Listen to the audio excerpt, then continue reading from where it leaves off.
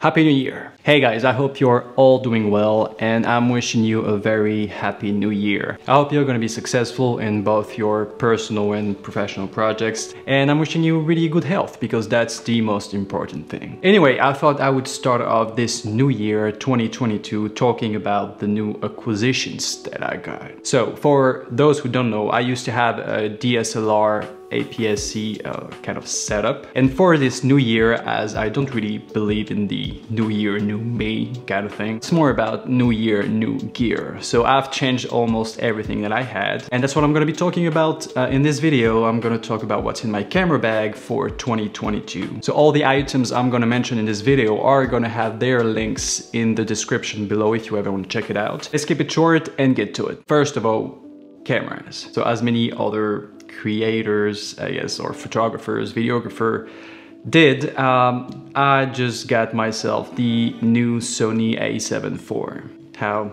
original. As a hybrid shooter, uh, this is an amazing camera for both photos and videos. It has a full frame 33 megapixel sensor for photo. You have like a lot of freedom when it comes to cropping in post, etc. And it shoots 4K 10-bit 422 videos. And 4K is actually sampled from a 7K image. So I've had this camera for around like two weeks now and I'm loving it. I'm not gonna get into like the pros and cons, you know, you have like to this day probably thousands of videos out there of people comparing and just reviewing this camera. Uh, yes, there is a crop 4K 60. My main goal was to go from an APS-C uh, sensor to a full frame sensor and that's what I did and I'm really happy with it. So anyway, that's the camera I have for 2022. Another camera that I use is uh, the camera for my phone, which is the iPhone 12 mini and I mostly use it to take like quick photos and just quick videos, especially to make like uh, Instagram stories. By the way, I do that pretty often, so if you guys don't follow me on Instagram yet, I invite you to go check it out. The link is gonna be in the description. And you know, check out my photography and if that's your thing, something you like, don't hesitate to follow up or don't. I mean, that's totally up to you. Moving on to the lenses that I have now. Uh, the first one will be the Sigma 24-70 f2.8 DGDN, which is currently mounted onto my a7 IV. It's a 24-70, so it's really versatile. A great lens for both photos and especially videos. You know, with, from the 24 to 70 a focal lens, you can have like, you know, like a settling shot, medium shots. You can even go all the way to close-ups with the 70 mil. Just a quick tip here, if you are a Sony shooter, I really invite you to check out the alternatives uh, from the G Masters and go look at the Sigma lenses. Most of the time they are as good and half the price or close to half the price. The next one that I got is uh, the so that is the Sony 70 to 200 mm f4 GOSS yeah, I think that's how it's called. That's my favorite focal lens to get like all those like details, like nice close-up shots in both photos and video. So it has everything onto it, so it's not as massive usually. Uh, but uh, I mean, if you think that's massive, um, wait until you see my backpack. I'm happy with that purchase. And again, that's my favorite focal lens, so I had to get a 70-200. I mean, with these two lenses, I already cover from 24mm to 200mm. So that's basically the two lenses that I'm gonna use. Moving on, drone. So yeah, in the previous video I've done about what's in my camera bag, it was like nine months ago or something. Uh, I didn't have a drone yet and I was looking into buying one and I got myself one and I'm really happy with it and I'm gonna show it to you in about a few seconds. Ta-da! That is the uh, DJI Air 2S.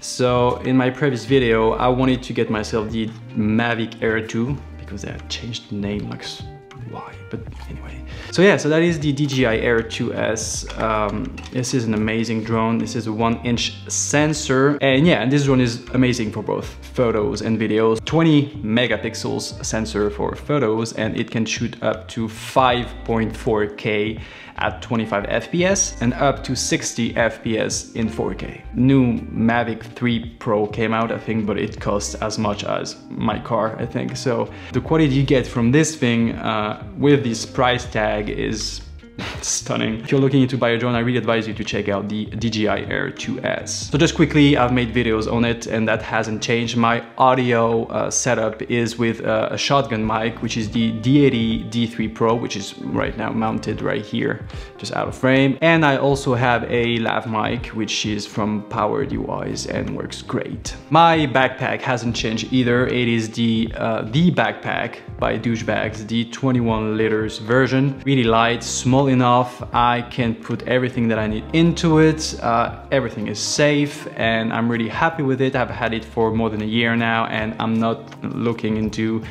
changing uh, anytime soon. So yeah. Now the accessories that I have. For uh, my camera accessories I got myself uh, a handle a camera handle that you just have to mount on top of your uh, the shoe of your camera. This is from SmallRig uh, you know you can also pair that with like a cage and all. Uh, I just got myself the handle so far. It helps with stabilization. And I also have straps so these haven't changed. They're still the ones from Peak Design so I have the slide that you know this is the one you can the long one that you can put onto your camera on around your body. I often use it if I just want to quickly go out and shoot some photos and videos and I don't want to carry my uh, backpack with me, take different lenses and my drone.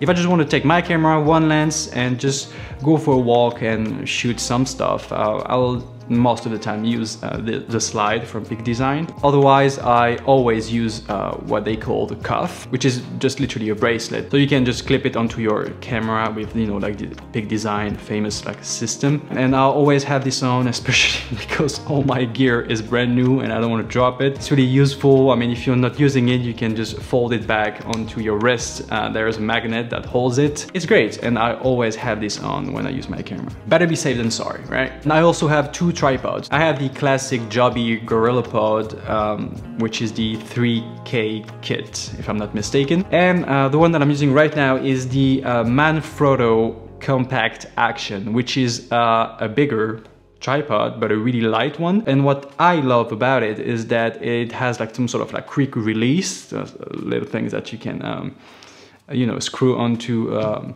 the bottom of your camera. It has this sort of like moving handle, uh, which makes my life way easier. It's foldable, really small and light and great if I want to go on, you know, like professional shots. Now, the accessories that I have uh, for my lenses. So the first one will be uh, the Peter McKinnon variable ND filter that he made with Polar Pro. This is the second edition, but just a standard one, not the mist one. And that is the 2 to 5 stops uh, version. Another accessory that I have is just a step-up ring because I took the 82 mil uh, version of it and my telephoto lens, so the Sigma is 82 mil as well, but the telephoto lens is only 72 I think.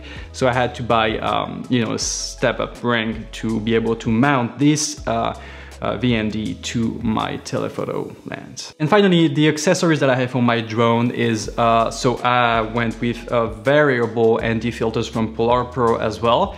So the two to five stops and the 69 stops. I just bought this to be able to shoot in like the right frame rate with my drone. I also bought a case for the drone because I didn't go with the Flymore combo. I think that was like really way too expensive for, and I didn't have any use in all those little equipments and items that that came with it. And finally, for the times where I don't want to take the case with me because it takes a little bit more space, I got some straps for um, the drone propellers. It's pretty like straightforward. So you put one onto the top of the drone and one in the back and they just like really hold into place the propellers. All right, so that was what's inside my camera bag for 2022 so far. As I've mentioned, I really wanted to keep it uh, minimal. If you guys are interested in one or many items that I've mentioned in the video, again, the links are in the description below. There are affiliate links, meaning that if you make a purchase using one of these links, I get a small commission, you get no extra fee, everybody's happy. So please consider doing it so if you uh, are willing to buy one of these. Otherwise, one of my new resolution is to be way more present here on YouTube. Again, if you're interested, you can come check me out on Instagram. I post on a daily basis. You can let me know what new gear you guys got in the comments below. Otherwise, you know, as usual, if you've uh, enjoyed the video, leave it a thumbs up. And if you're not subscribed yet, please consider doing so. Otherwise, uh, I'm wishing you a great end of your day, evening, night, morning, wherever you are. And I'll talk to you guys in the next video. Take care.